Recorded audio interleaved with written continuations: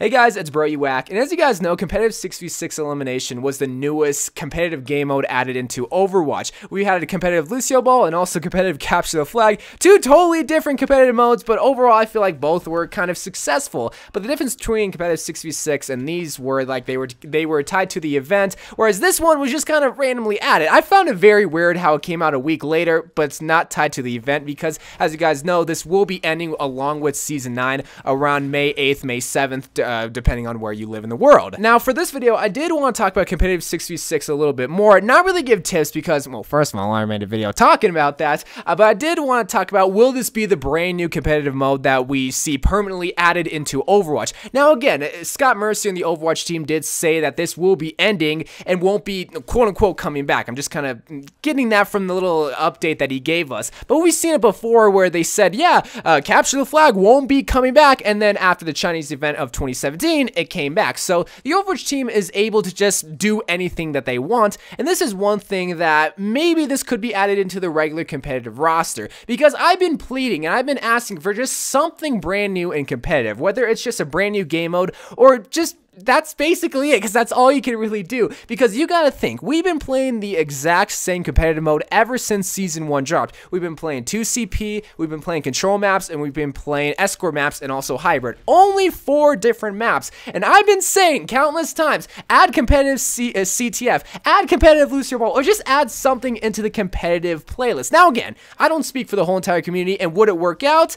Maybe not competitive lucio ball maybe frankly not even competitive ctf but we're talking about the subject of competitive 66 elimination because, well, again, this is the newest edition, and it's plausible for it to be added into the regular rotation. And it also seems just kind of weird that they would just add a new competitive playlist that has nothing to do with the event and that's not tied with the event. So that's why it's making me believe and speculate that out of any kind of new competitive playlist, this would be it. This would be the thing that would be added into the rotation. But with every single edition, and every single idea, there's always going to be pros and cons to it. And I definitely want to hear your thoughts on what you want. But in terms of like the pros of adding competitive 6v6 into the regular rotation, well, like I said, we've been playing the exact same four playlists that we kind of know and expect what to do. Whereas if we add competitive 6v6 elimination, that same seriousness tone and that same like, okay, we got to win would still be there. Because as it stands right now, they're separated. So when people are done being salty and done being tilted in regular competitive, they still want to play a little bit competitive, so they play competitive 6v6, but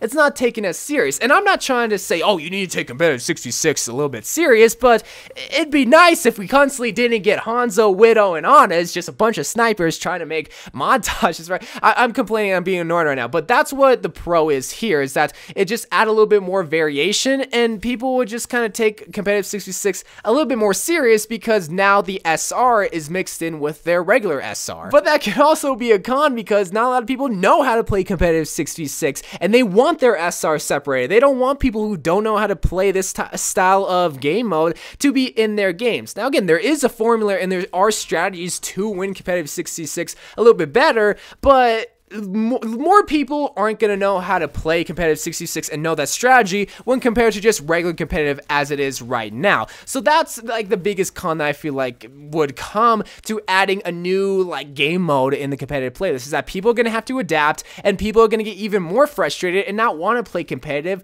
where they could have just left it alone and just kept the same four game modes that we've been playing ever since season one. And those are just some of the major pros and cons that I see adding this type of playlist into the regular competitive mode. Like I said, it just seems very weird that they were just at it right now without maybe testing the waters and seeing, all right, uh, season 10 is about to commence. Should we add anything to it? Because, you know, we've been adding maps and heroes, just not different playlists. And I, I don't know, like, it's just based on the person. Would they really like a different variety of, play, of game modes and playlists in the competitive scene where people don't know how to adapt or people don't know how to play it? Or would they just like to leave it be left alone? Because whenever a new map is added into the competitive competitive rotation, say Blizzard World or Junkertown, there are going to be people that don't know how to play that map. Now imagine a whole new playlist, a whole new game type being added where a majority of people are just kind of running around, don't know what they're doing, and it's not a matter of who's the better team, it's a matter of, well, who kind of sucks the least at this new game mode. So